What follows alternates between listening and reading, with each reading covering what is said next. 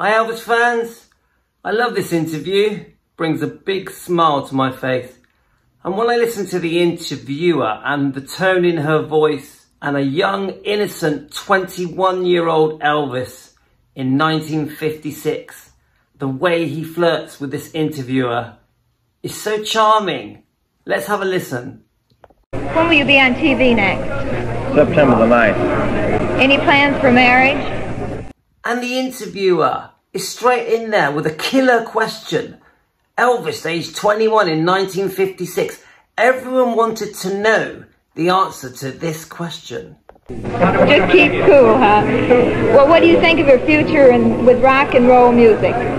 And I don't think Elvis could have even dreamed about the kind of success he was going to go on to have after 1956 and in 1956.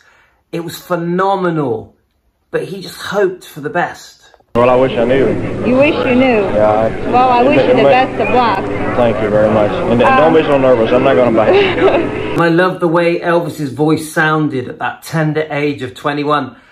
And he puts the interviewer at ease and she carries on. Well, you know, I traveled all over the city of Detroit looking for good rockin' tonight. Is that right? I sure did. So it's the interviewer's turn to flirt with Elvis. And she makes it pretty clear in the way she speaks and the sound of her voice that she is mad about Elvis. And I don't blame her. Why don't you come down to my house and I'll give it to you? Well, I would have loved to. And Elvis is straight on the case. You can tell that he likes her. Where are you from? Memphis, Tennessee. Memphis, Tennessee. And how old are you? 21. 21. Yeah. You still out looking for a girl? Uh-huh. and she's still trying. Could you imagine if an interviewer now did that? It, it just wouldn't happen, would it? Uh, I think I found her. You found her, huh? You. Oh, well, thank you. You like blondes or brunettes? Oh, brunettes? I like all kinds. All So- kinds. Yeah. And I think her forwardness is paying off. And who knows what happened that night? Who knows? Thank you very much, honey. And, and don't be so nervous. because, Nothing. And he puts her at ease again, the most wanted man in the world. And she's talking to him. Nothing to it. I think I could have gotten an interview with the president quicker than I could with you. And this was so true.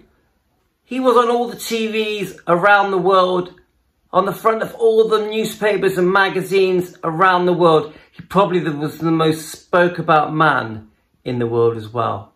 I've enjoyed talking to you, honey, and, and I'll see you again. Yeah, I'm going to stick around, listen to the show. And I bet she did stick around. I love this interview because you really can feel the tone of Elvis's voice, his youthful innocence comes through, but at the same time, the way he flirts is so charming and comes across so friendly and likable. No wonder he was the most popular man on the planet. Thanks everyone.